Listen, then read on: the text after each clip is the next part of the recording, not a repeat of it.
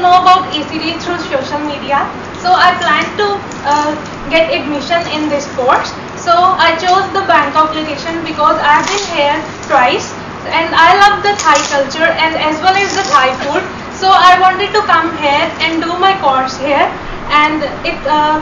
these days were very uh, enjoyable and our teacher Annie has taught us very in a very innovative way and I really enjoyed my 15 days over here